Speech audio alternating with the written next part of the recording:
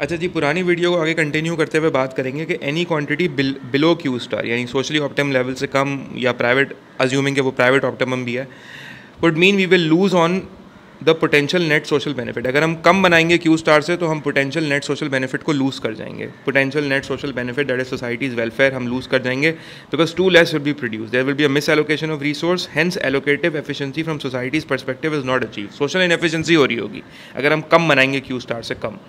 Because हो वही वाली बात है ना बिकॉज़ अगर हम अगर हम देखें, वो जो हम कम बना रहे हैं तो social benefit for each additional unit up till Q star is more than the social cost of each additional unit वही वाली मैंने बात की कि देखें, अगर हम कम बनाएँगे तो इस तो ये जो पूरा एरिया है, इस so for each additional unit the social benefit is more than the the marginal social benefit is more than the marginal social cost.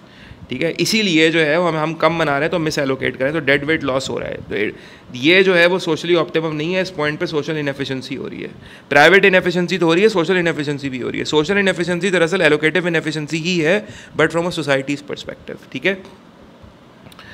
Number three के अंदर एक और चीज़ मैंने लिखी हुई है कि अगर एलोकेटिव एफिशिएंसी हो रही होती है तो allocative efficiency in free market का मतलब खाली एक और भी है वो ये कि अगर फ्री मार्केट्स हम कहते हैं एलोकेटिवली एफिशिएंट है तो उसका मतलब ये है कि कोई सरप्लस या कोई शॉर्टेज नहीं होगा फ्री मार्केट के अंदर। ठीक है? प्राइस मैकेनिज्म इंश्योर करेगा फ्री मार्केट्स के अंदर। कि ऑप्टिमम रिसोर्स एलोकेशन हो थ्रू इट्स फोर फ़ंक्शन जो हमने पढ़े थे signalling incentive rationing and all ensuring that there are no shortage of surplus at demand equal to supply तो रिसोर्सेज जो है वो परफेक्टली फॉलो करती हैं कंज्यूमर डिमांड को। जहाँ कंज्यूमर की डिमांड है वहाँ रिसोर्सेज फॉलो करती हैं। सो so, ना कोई सरप्लस होता है ना कोई शॉर्टेज होता है। वैसे भी फ्री मार्केट्स जो होती हैं हमने पढ़ा था according to Adam Smith auto adjusting होती हैं। ऑटोमेटिकली डिसइक्विलिब्रियम्स को एलिमिनेट कर देती हैं हमने ऐसे भी पढ़ा था। तो ये एक और परस्पेक्टिव है एलोकेटिव एफिशिएंसी का। तो अगर आप एफिशिएंसी में एलोकेटिव एफिशिएंसी समझा रहे हैं तो आपको ये तीनों परस्पेक्टिव पता होने चाहिए। हर एंगल से आप एलोकेटिव एफिशिएंसी समझाएँगे बिकॉज़ ये एग्ज़ाम में क्वेश्चन एफिशिएंसीज पे 25 मार्क्स का आता है। और कोई रीज़न ही होता है वो 25 मार्क्स का आता है, क्योंकि उसमें बहुत कुछ लिखने को होता है। और स्कोरिंग है यार, ये सिंपल है कि कोई मुश्किल कोई नई चीज़ थोड़ी पढ़ हो तुम लोग अभी मेरे साथ। सब तुम लोग पढ़ चुके हो और ये सिंपल सिंपल डायग्राम है और इसमें मज़ा आता है स्कोरिंग होता है ये क्वेश्चन ठीक है?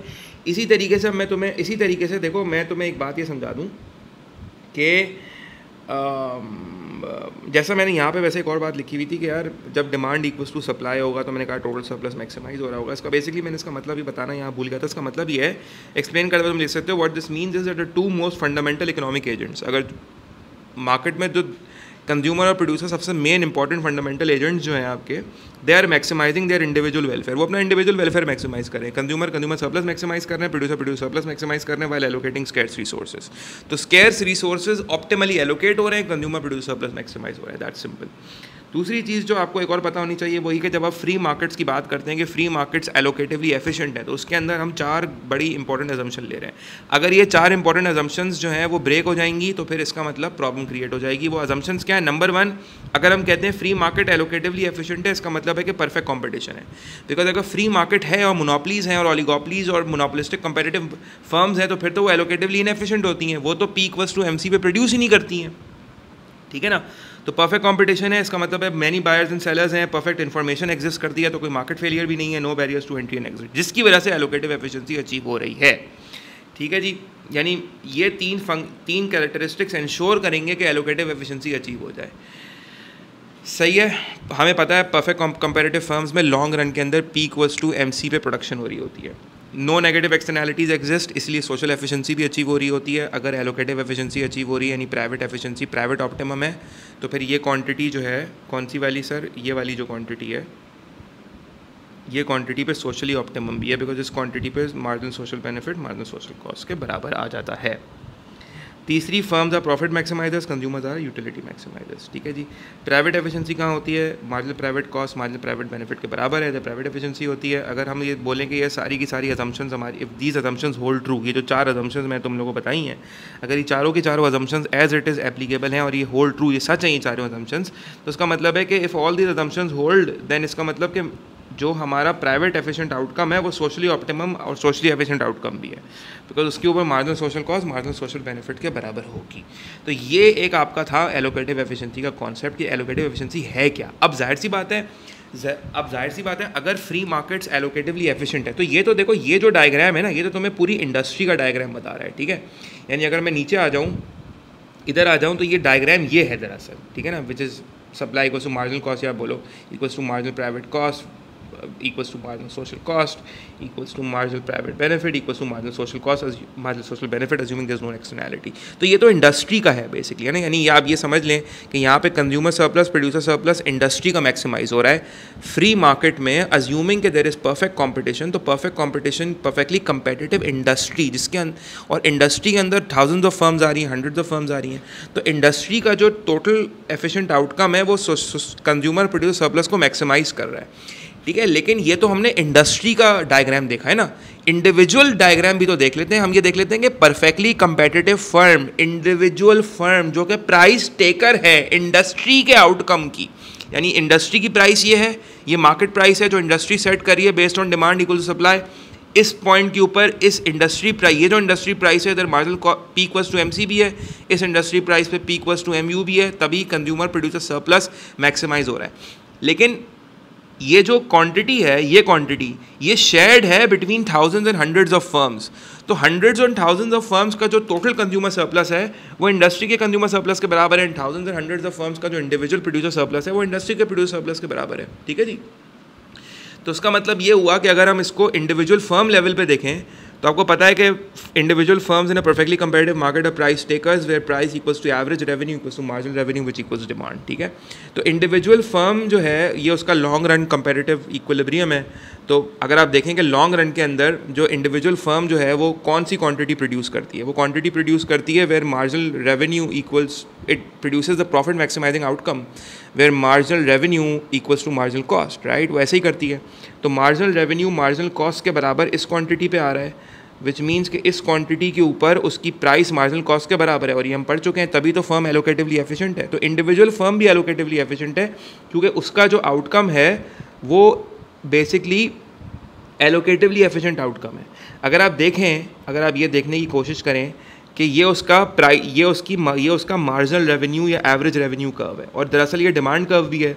तो इस पॉइंट पर इंडिविजुअल फर्म की डिमांड इंडिविजुअल फर्म की सप्लाई के बराबर है, क्योंकि marginal cost is the supply curve तो इस पॉइंट पे दरअसल इंडिविजुअल फर्म की डिमांड इंडिविजुअल सप्लाई के बराबर है। तो ऑल थिंग्स आर कनेक्टेड सारी की सारे जो एक, हमने एलोकेटिव एफिशिएंसी के कॉन्सेप्ट पढ़े हैं, वो एक ही जगह जाके मिल रहे हैं। इंडस्ट्री के परस्पेक्टिव से भी इंडिविजुअल फर्म के परस्पेक्टिव से भी। तो जो इंडस्ट इंडिविजुअल फर्म का जो एलोकेटिवली एफिशिएंट आउटकम है, वो दरअसल वो एलोकेटिवली एफिशिएंट है बिकॉज़ इस पॉइंट पे प्राइस मार्जिनल कॉस्ट के बराबर है। दूसरी चीज़ जो मैं आपको ये बता दूँ कि इंडिविजुअल फर्म जो है, वो क्या चाहती है? हमारा अजम्पन क्या है? हमारी अजम्पन ऊपर हम पढ़ चुके हैं, हमारी अजम्पन है कि फर्म्स आर प्रॉफिट मैक्सिमाइजर्स तो फर्म तो प्रॉफिट मैक्सिमाइज करने के लिए बैठे हैं ना। तो हमने पढ़ा था कि फ़र्म अगर प्रॉफिट मैक्सिमाइज़ करना चाहती है तो फर्म मैक्सिमम प्रॉफिट कब कमा सकती है? फर्म तो मैक्सिमम प्रॉफिट तब कमा सकती है जब मार्जिनल बेनिफ, यानी मार्जिनल रेवेन्यू जो है वो मार्जिनल कॉस्ट के बराबर हो जाए।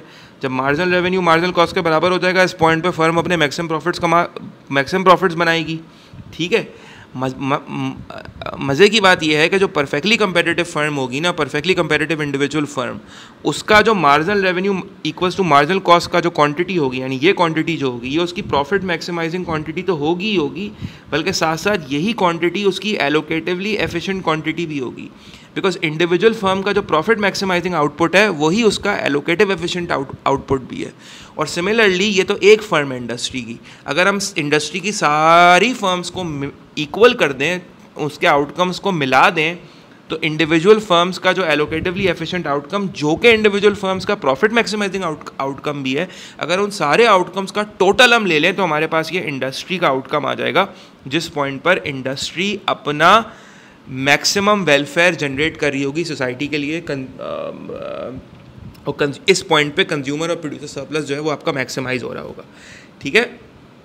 तो ये बात आपको बतानी थी एक। सही है तो इसका मतलब परफेक्टली कंपेरेटिव मार्केट जो है, वो एलोकेटिवली एफिशिएंट आउटकम प्रोड्यूस करती हैं इंडस्ट्री एलोकेटिवली एफिशिएंट होती है। इसमें आपको बताना होगा एफिशिएंसी पे क्वेश्चन आएगा कि अगर आप कम प्रोड्यूस करेंगे तो फिर डेड वेट लॉस कैसे अराइज होगा? फिर डेड वेट लॉस के दो एरियाज़ निकालना, एक तो loss of consumer surplus produce surplus private efficiency के परस्पेक्टिव से बताना, फिर एक और परस्पेक्टिव बताना, उसका फ्रॉम द परस्पेक्टिव के यार, अगर कम प्रोड्यूस कर रहे हैं तो मार्जिनल बेनिफिट मार्जिनल यूटिलिटी या मार्जिनल बेनिफिट मार्जिनल कॉस्ट से ज़्यादा है तो यार ज़्यादा प्रोड्यूस कर लो, फिर इंटरलाइज नहीं हो रहा वो बेनिफिट्स कंज्यूमर प्रोड्यूस प्लस जो लूज़ हो रहा है वो इंटरलाइज नहीं हो रहा। अगर हम ज़्यादा प्रोड्यूस कर रहे हैं तो मार्जिनल कॉस्ट मार्जिनल बेनिफिट से ज़्यादा है तो again loss of consumer surplus हो रहा है। और जो, यानी कंज्यूमर्स जो वैल्यू प्लेस कर रहे हैं, वो कम है as compare to the marginal cost of production तो अगेन सोसाइटी लूज़ करिए। फिर एक और, फिर एक और सोसाइटी का एक परस्पेक्टिव और देना। जहाँ पे तुम बोलना कि अज्यूमिंग के marginal private cost marginal social cost के बराबर है अज्यूमिंग के marginal social benefit private benefit के बराबर है। तो यहाँ ये फिर परस्पेक्टिव देना dead weight loss of welfare बोलना सोसाइटी जो है, वो इन टर्म्स ऑफ़ वेलफेयर भी लूज़ करिए because the you know the social cost is exceeding the social benefit and the social benefit is exceeding the social cost so there's a misallocation of resource from society's perspective as well तो ये वाला भी एक element देना तो और अच्छा answer हो जाएगा बाकी एलोकेटिव एफिशिएंसी के अंदर अज्यूमिंग के फ्री मार्केट्स आर एफिशिएंट वो सिर्फ़ तब एफिशिएंट है जब परफेक्टली कंपेरेटिव है ठीक है परफेक्ट मार्केट्स एलोकेटिवली एफिशिएंट नहीं होंगी वो हम अगली वीडियोज़ में देखेंगे तो फिर उसके अंदर आप ये डायग्राम बना के दिखाएँगे, आप बोलेंगे कि जो प्रॉफिट मैक्सिमाइजिंग आउटपुट है, वो एलोकेटिवली एफिशिएंट आउटकम भी है। तो इंडिविजुअल फर्म्स भी जो है, वो परफेक्टली कंपेरेटिव मार्केट में एलोकेटिवली एफिशिएंट है और उनका जो allocate sum of the individual outcomes of the firms that is allocatively efficient if you sum them up you get the perfectly competitive industries outcome where the total surplus and society surplus is maximise तो ये आपका allocative efficient allocative efficiency ख़त्म हो गई। अगली video के अंदर हम जो है, वो शुरू करेंगे dynamic efficiency sorry product efficiency ठीक है जी?